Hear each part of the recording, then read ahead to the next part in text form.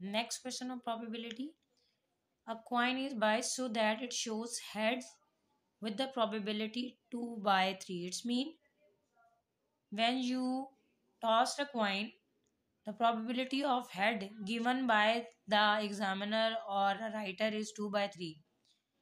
The same coin is tossed 3 times. How many times you flip the coin? 3 times. What you have to find? Find the probability of obtaining two tails on first two tosses. He wants you to find out the probability of two tails. But here he has given the probability of heads. So first clue is, first of all, you have, before solving this part, you have to find out the probability of tails so that you can proceed this part. Because the question is given for head, but statement is given for head, but question is asked for the tail. He's asking for the tail, na? So uh, first of all, you have to write over here heads probability. That is given in a statement. That is 2 by 3 it means that the total sample space is 3 from total of 3 2 are head. So what will be the probability of tail? It is quite simple that total if you are having three parts two are involved over here. So how many are left? Only one. It means tails probability will be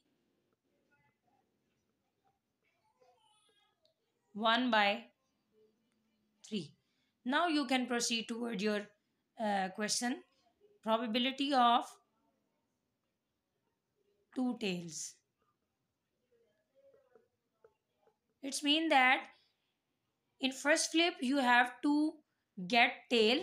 In second uh, flip you are also he is also demanding for tail because he is saying first two tosses you have to get tails. It's mean probability of tail for the first time that is 1 by 3 and similarly for the second toss again you have to get the tail so that in order to fulfill this requirement two tails.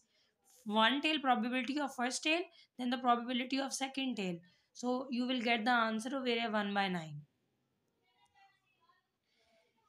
if we move toward the second part the probability of a head tail and head in that order. It's mean that you are going to take head for the first toss, tail for the second toss and head for the third toss. You are not going to disturb this sequence. So what is the probability of a head? The probability of head is 2 by 3.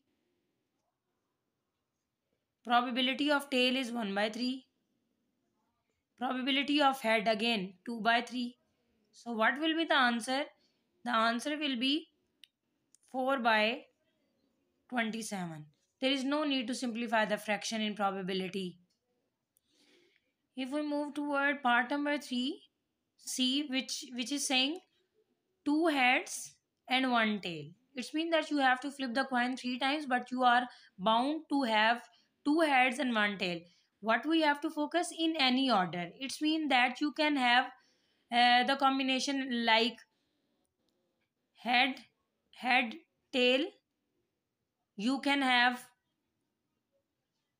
tail head head or you can have head tail head in all the three possibilities you are having two heads and one tail. So in any order mean that you can shuffle this sequence.